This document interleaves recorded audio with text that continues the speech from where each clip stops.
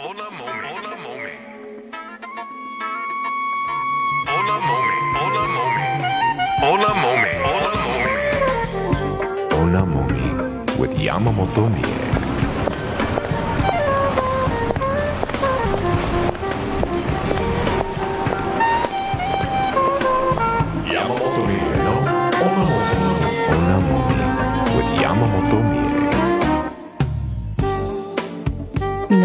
こんばんは。山本美恵です。ここからの55分間は私山本美恵がお送りするスペシャルプログラム山本美恵のおなもみをお届けします。どうぞ最後までお付き合いください。ということでですね、私の、えー番組がスタートしたんですけども、感想を、外人の方が今、女もみ、と、あれは、女もみに聞こえるので、あの、おなもみです。正式には。そんな感想です。のスペシャルプログラム、山本美恵のおなもみでは、先月リリースされました、私のファーストアルバム、おなもみからのナンバーを中心にお届けしつつ、アルバムの日は様々なエピソードそして、え私の音楽のルーツなどについて、えお話ししていきたいと思っております。最後までどうぞ聞いてください。それでは早速ファーストアルバム「おなもみ」から一曲お届けします。この曲は、タイトルは「猫」なんですけど猫の歌じゃないです、自分がこう一番最初にこう曲を作っていこうって思った時に自分という人間が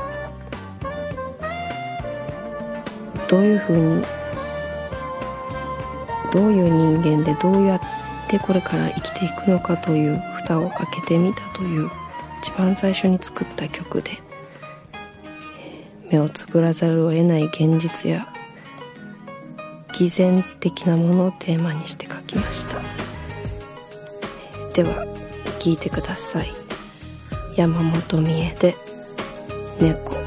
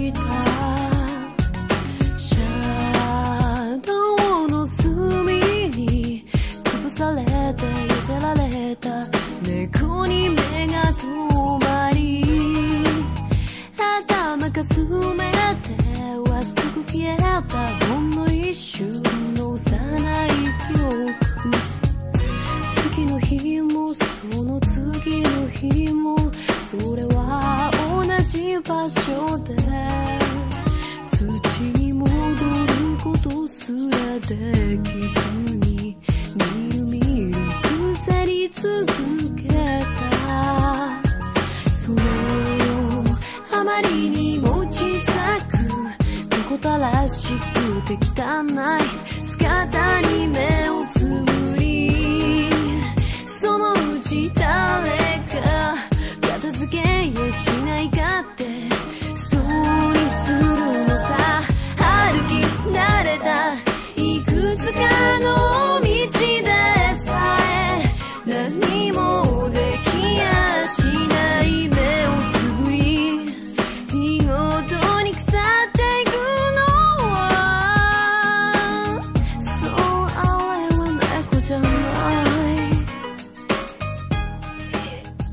本美恵が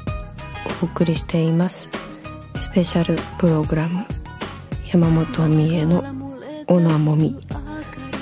さて、えーここで、えー私山本美恵について知らない方の方が多いと思いますのでここで自己紹介をさせていただきたいと思います、1978年7月11日。浜田山で生まれました。私がお母さんのお腹の中に入っている時に父は女だったら絶対桃子だと意固地になっていたそうです。しかしながら山本桃子とは魔行だらけで言い難いので三重になりました。えー、そんな感じで今も山本美恵です。えー、デビューのきっかけはきっかけ。あの10代の頃にこうコピーバンドをやっておりまして、えー19歳の時に、えー最後の記念ということで出たコンテストがありました、えー予選は移民の歌を歌い本番で、えー女性ものの歌を歌いましてで声をかけていただいたんですが当時は私はフリーターをしていたのです。音楽はもちろんこう好きだったんですけど一応音楽ファンとして好きだったわけでこう音楽で飯を食っていくなんていうことはあまり考えておりませんでした。なのでこう声をかけていただいた時にデビューのお話をいただいてもちょっとピンとこなかった感があります。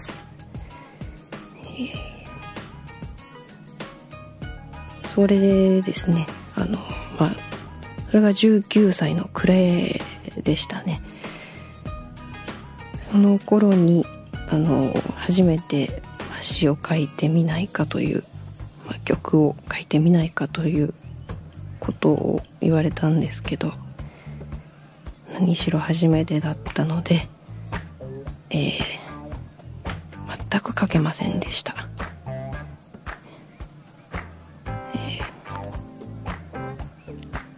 やっぱりこうずっと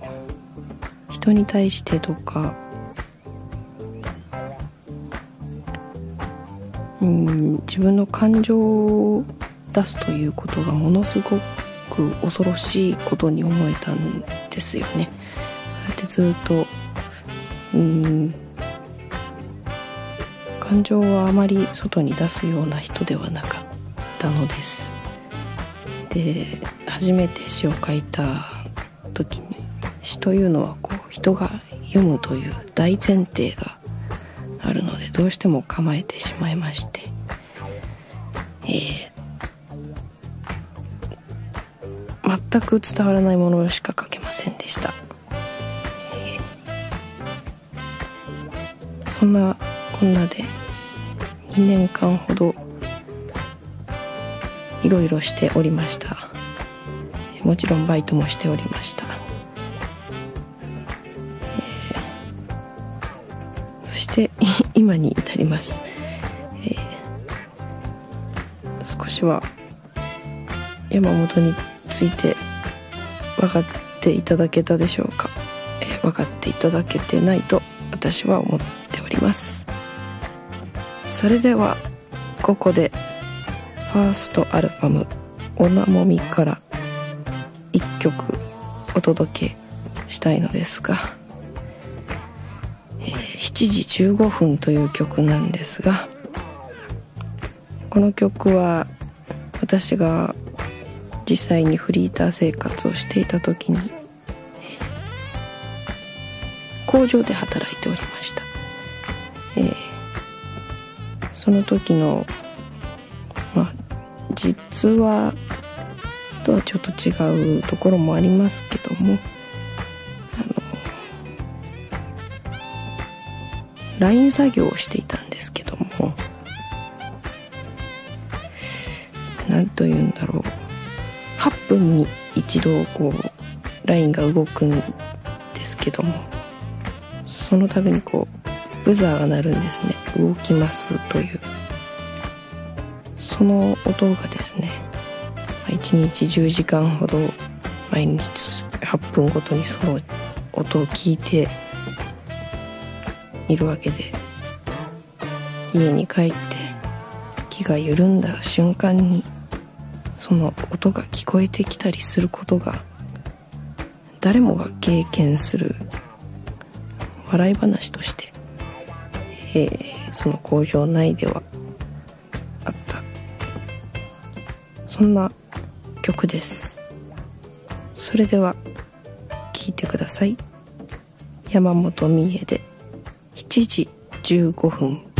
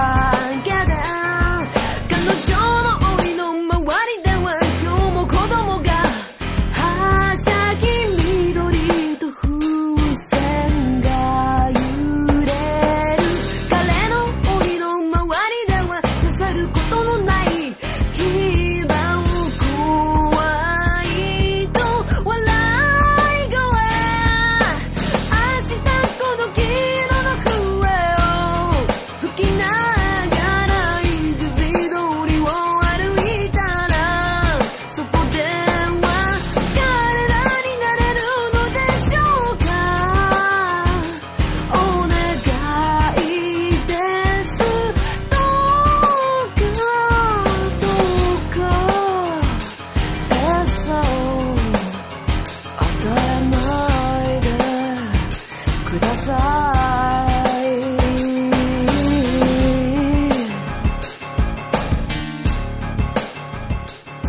1時15分に続いてお送りしているナンバーは同じくファーストアルバム「おなもみ」から「餌を与えないでください」という曲です、えーこの曲はですねのアルバム前の3シングルがあったんですけどもまず自分のこう蓋を開いてみるという作業が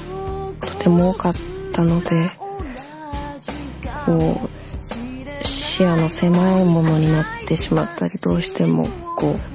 心象風景だったり自分自分自分のことばっかり書いていたんですがえー、とこの曲については「私」という言葉をまあ猫もそうなんですけど私という言葉を使わずに彼や彼ら彼女それをあの聞いてくれてリスナーの方に想像していただきたいなと、思いまして、えー書いてみました。さて、えー今回のファーストアルバム、おなもみについてなんですが、このタイトルのおなもみっていうのをあんまりこう、知ってる方が少なかったですね。聞かれます。私が育った神奈川県山の方なんですけども、あの、子供の頃によくこう、投げてこうく服とかにくっつくあの、イガイガした、ひっつき虫とか、くっつき虫とか、泥棒とかいう名称で呼ばれていた植物の種です。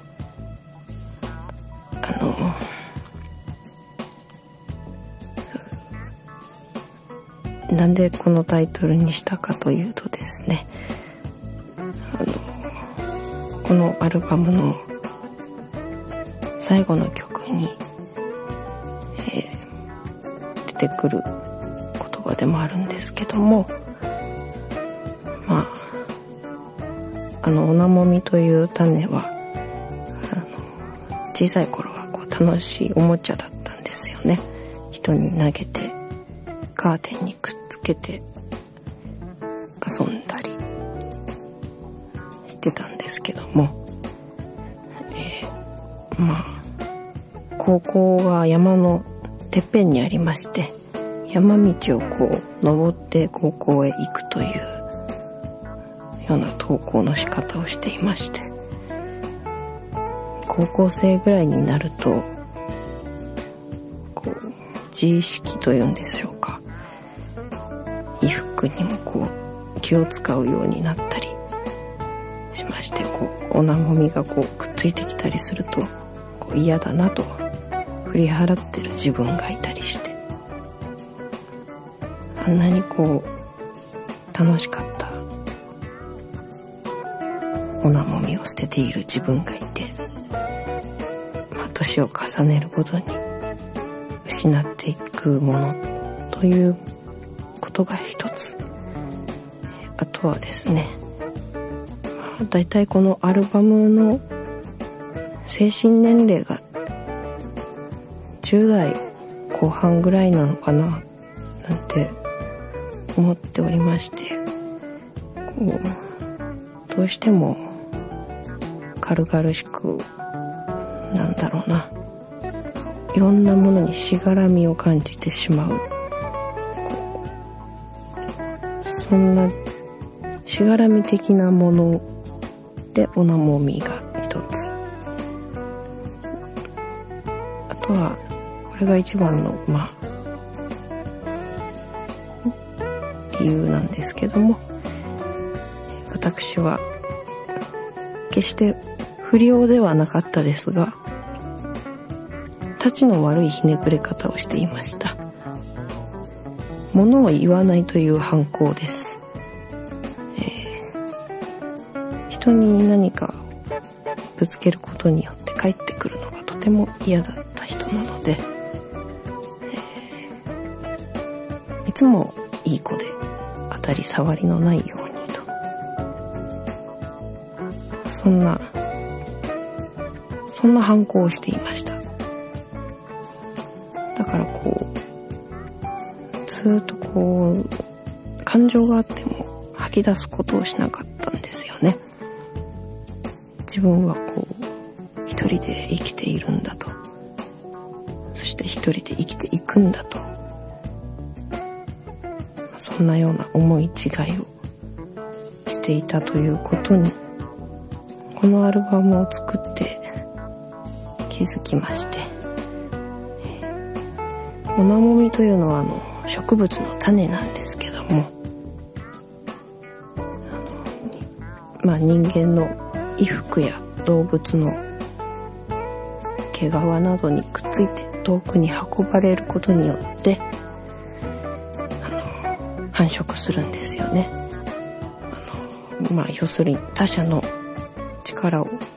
借りて生きていくと自分もして一人ではなかったと。周りに家族や友達やいろんな方が支えてくれて今私がこうしてここで喋ったりとかしてます。そんな感じのタイトルです。それでは、えー、ファーストアルバム「おなもみ」からもう一曲お届けします。17という曲ですが、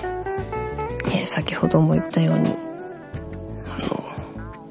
のこのアルバム全体がですねだいたい精神年齢がこのぐらいの時期なんだと思っているんですけどももともとアルバムを作ろうという話になった時ごくコンセプチュアルなものではなかったんですね。でうんこういうアルバムにしたいという強い思い入れがあったわけでもなくこう書いていくうちにですねこう自分の考え方の土台になっている17歳の時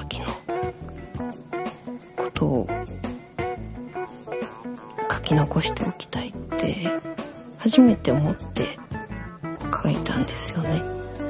いつもこう別にこう型にはまった曲というかこういう曲にしようというふうに決めて作ったことがなかったんですけどもこの曲についてはこの17歳の頃のこう言われのない不安大人でも子供でもない苛立ちだったりとかこう社会に片足も、ね、突っ込んでないのに情報量ばっかりを送ってこうなんだかわけわからない不安に陥ったりしてた時期に軽々しくまあ死を連想したりだとかすごくそういう青臭い部分をですねそのまんま残しておきたいなと初めて思いまして書いた曲です、えーそれでは、えー聞いてください。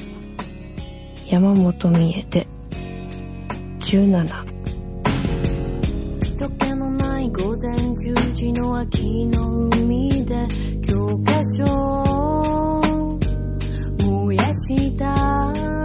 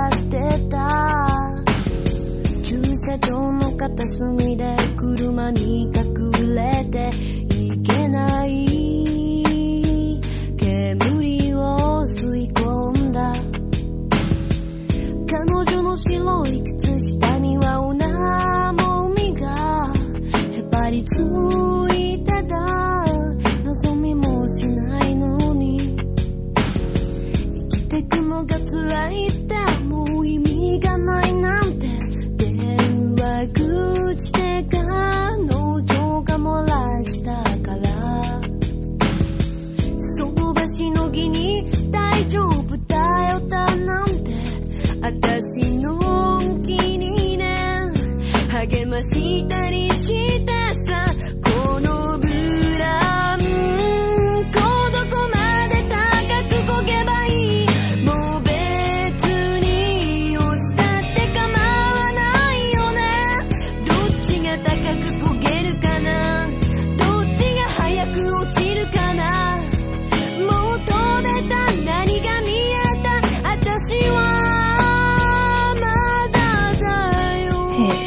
山本美恵がお送りしてきました。スペシャルプログラム。山本美恵のおなもみ。いかがでしたでしょうか？えー、なんだか。こう一人でこうラジオというよりもマイクに向かって。喋るということ初めてなので